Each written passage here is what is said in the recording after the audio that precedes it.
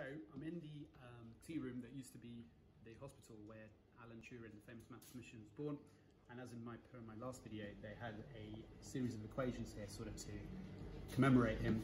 And I spotted a mistake and they're allowing me now to correct the mistake. So go e to the i pi plus one is zero. So I'm gonna stick it in there. There we go. e to the i pi equals zero. I would sign it, but I think that would be taking the mic a little bit. So there we go. The correction has been made. Cheers.